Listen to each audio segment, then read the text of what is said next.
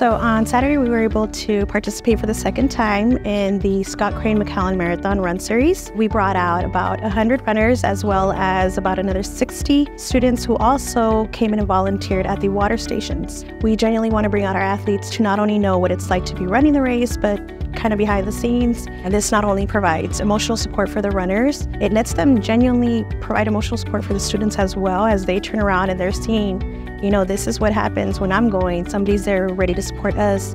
On top of that, our students had the awesome opportunity of coming out and helping the community. Uh, we had our cross country runners out there uh, passing out waters and Gatorades to a lot of the runners uh, running the marathon at Rising Scholars Academy. Uh, one of our core values is community, so it was great to actually have the kids out there demonstrating that core value of community. After they helped out uh, passing out waters, uh, they did participate in the one mile kid run where our kids competed and ran against other students around the valley and uh, received a medal at the end for their, for their finish. We just want to thank the community members of McAllen uh, for allowing us to, to, be out there to help and uh, make uh, STISD presence known and uh, hopefully we can do it again next year.